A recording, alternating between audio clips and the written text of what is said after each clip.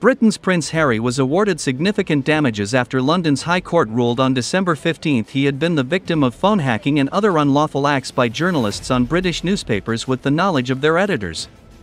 The prince became the first senior British royal for 130 years to give evidence in court when he appeared as the star witness at a trial in June against Mirror Group newspapers, the publisher of the Daily Mirror, Sunday Mirror and Sunday People, who he said had targeted him for 15 years. The judge's decision to award him £140,600 and his conclusion that the paper's editors and executives knew about the wrongdoing will be seen a major victory for the prince. Harry called for the authorities and the police to take action against those identified as having broken the law. Against the company and those who have broken the law. My commitment to seeing this case through is based on my belief in our need and collective right. The court has in fact confirmed that all four claimants were subjected to voicemail interception and unlawful information gathering. But no one would have believed that was the case given how this trial was covered in the UK. My commitment to seeing this case through is based on my belief in our need and collective right to a free and honest press and one which is properly accountable when necessary. That is what we need in Britain and across the globe. Anything else is poisoning the well for a profession we all depend on. The court has ruled that unlawful and criminal activities. The journey to justice can be a slow and painful one, and since bringing my claim almost five years ago, defamatory stories and intimidating tactics have been deployed against me and at my family's expense. And so, as I too have learned through this process, patience is in fact a virtue, especially in the face of vendetta journalism. I hope that the court's findings will serve as a warning to all media organisations who have employed these practices and then similarly lied about them cover-ups and destruction of evidence, the shocking scale of which can only be revealed through these proceedings.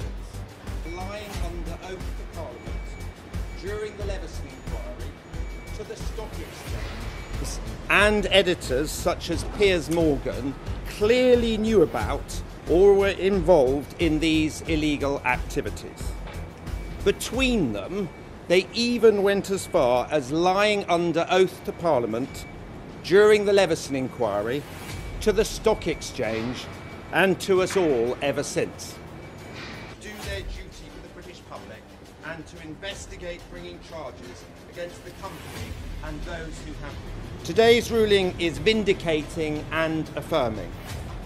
I've been told that slaying dragons will get you burned. But in light of today's victory and the importance of what is doing what is needed for a free and honest press, it is a worthwhile price to pay. The mission continues. Thank you very much.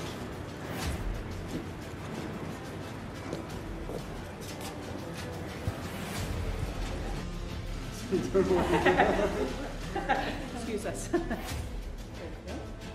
Thank you. So it's twice in the year, so we're hoping we'll be able to keep up this pace. last, last time we did this whole circle was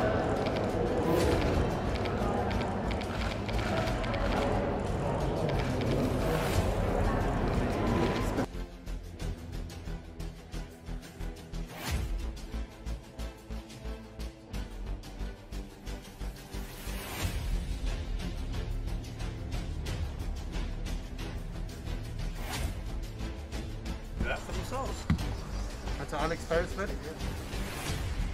Good luck to him. I think they'll be rather disappointed when I re-emerge. so we emerge with. I would call it a temporary hibernation, but, but of course my opinions remain my opinions. They-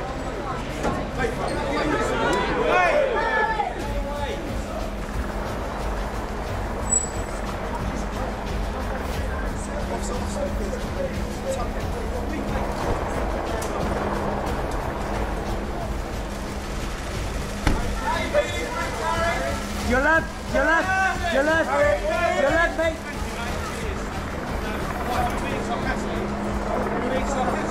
Over.